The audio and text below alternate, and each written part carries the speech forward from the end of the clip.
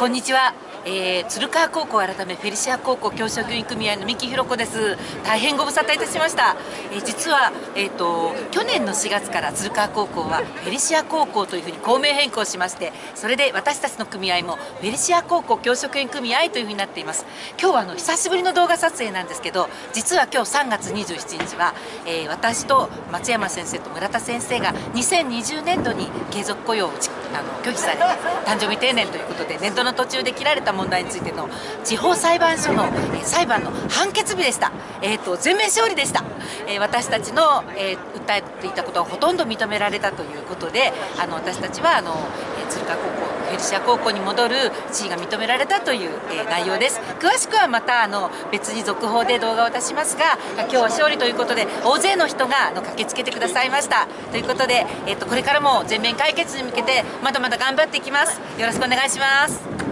ありがとうございました。